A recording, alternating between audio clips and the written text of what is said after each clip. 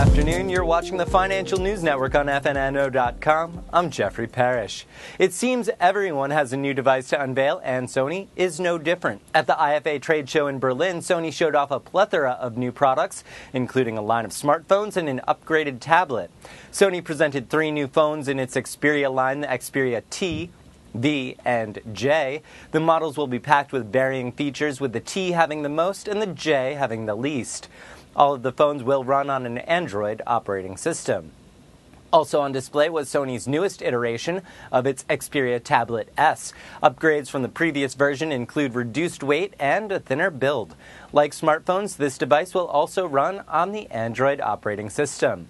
For this and more updates, follow us on Twitter at FNN Online or catch up with us on the web at FNNO.com.